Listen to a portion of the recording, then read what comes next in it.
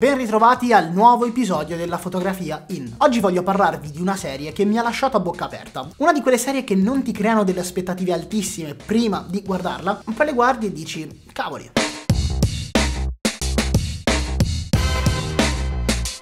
Io sono Simone Tarca e in questa serie vi parlo della fotografia nel cinema. Analizzo film e serie tv che mi sono piaciuti particolarmente andando a parlare di quelle che sono le luci, i colori, i movimenti di camera, la composizione, insomma tutto quello che ci sta dietro per capire al meglio il messaggio che magari un film vuole trasmettere. Per questo motivo vi invito a iscrivervi al canale, lasciare un bel mi piace e attivare la campanellina per supportare questi miei video. Giù in descrizione trovate anche la playlist con tutti gli altri episodi in cui ho analizzato vari altri film e serie tv. Detto ciò, oggi parliamo appunto della regina degli scacchi. È una una serie molto recente, è uscita a fine 2020 su Netflix ed è una di quelle serie che ti appaiono in top 10 per delle settimane. Inizialmente infatti non ero neanche così tentato di guardarla perché ultimamente Netflix non mi propone granché, o meglio le top 10 di Netflix non le apprezzo così tanto. Tuttavia molte persone comunque che ritengo autorevoli diciamo in questo campo ne hanno iniziato a parlare un po' e ho detto ma sai cosa guardiamola. L'ho guardata tutta e ci sono rimasto veramente di stucco. Secondariamente molti di voi mi hanno chiesto sotto i miei video di parlarvi di questa serie e quindi motivato da quello e anche dalle analisi fatte da altri creator come ad esempio Sinergo che ci ha fatto un video veramente molto interessante che vi lascio linkato giù in descrizione, ho deciso di riguardarmela per cogliere al meglio quei messaggi e magari scriverci un video. Ed eccolo qua. Partiamo ovviamente dalla trama. Piccoli accenni per chi volesse magari approcciarsi a questa serie, cercherò di non fare spoiler, magari alla fine qualcuno ne esce, ma niente di grave. La serie è ambientata negli anni anni 50 in un orfanotrofio femminile. In questo orfanotrofio hanno un'attenzione un po' particolare per i bambini, infatti per farli stare calmi li riempiono di tranquillanti. In tutto ciò Beth, che non è proprio interessata ai classici giochi che magari farebbero i bambini,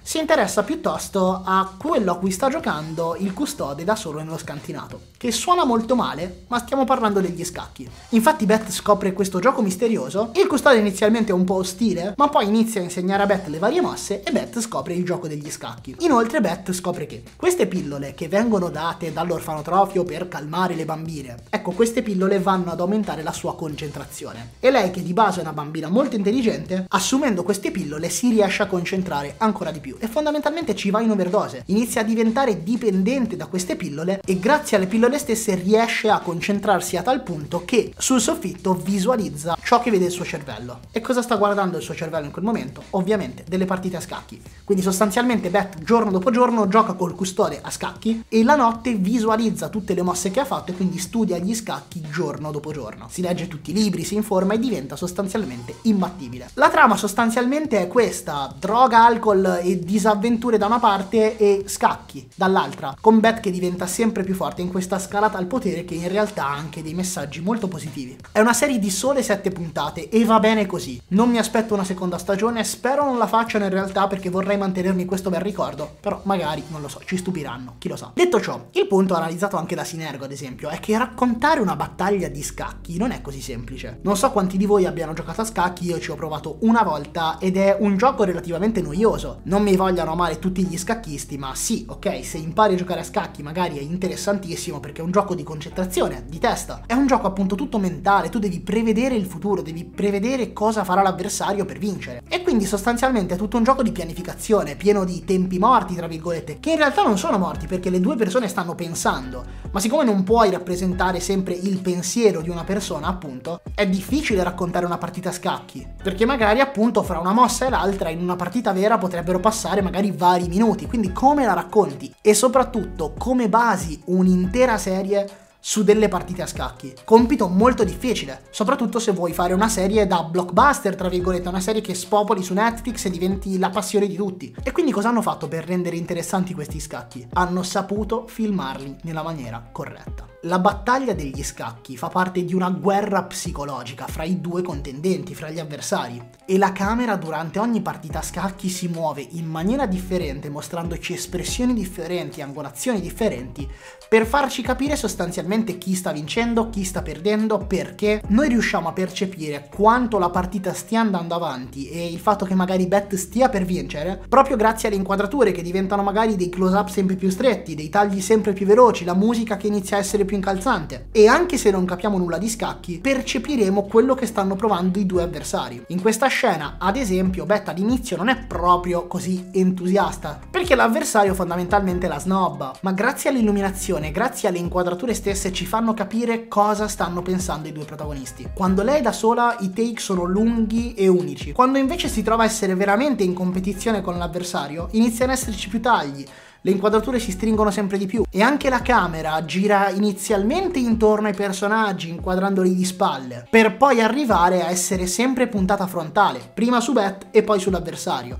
Questo perché? Perché la partita a scacchi inizialmente è una partita fra due persone che usano gli scacchi per sfidarsi, tra virgolette, no? Ma poi diventa sempre di più una battaglia mentale e quindi gli scacchi diventano solo lo strumento per comunicare col nostro cervello. Cioè le mosse i due personaggi le fanno nel cervello e le trasmettono alla scacchiera muovendo appunto i pezzi. Queste inquadrature oltretutto si concentrano su bet e ci sono anche messaggi simbolici dentro gli scacchi stessi. Guardatevi le partite e sebbene nessuno di noi magari capisca capisca qualcosa di scacchi, ci sono quelle cose come la regina che batte il re, che non è solo una mossa magari X degli scacchi, ma è anche secondo me in questa serie l'ascesa di una donna in un mondo prettamente maschile. Perché ora come ora magari per persone aperte come me è ovviamente normale che una ragazza possa giocare a scacchi come o ancora meglio degli uomini, però magari negli anni 50 non era così comune pensarlo e per molti purtroppo non lo è ancora. Sempre parlando di scacchi, perché si parla di scacchi in questa serie, c'è una specie di climax